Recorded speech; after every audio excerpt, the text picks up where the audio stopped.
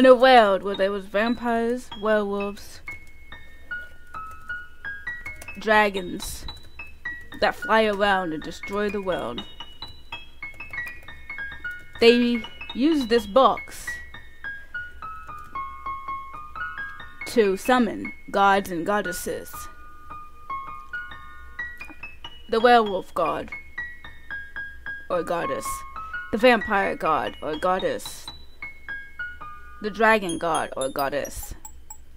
To set this world straight from the wars that were happening between the monsters and the, the monsters, the humans.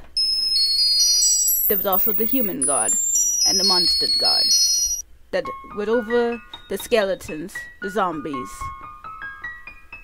and the spiders, and the creepers, and all that good old stuff. There was also the nether god, or goddess. In this world, it was good versus evil, or people versus anything.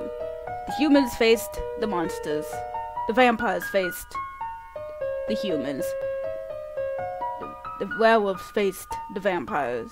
The dragons didn't like anyone or anything, so they destroyed everything. And in the nether, everything was peaceful.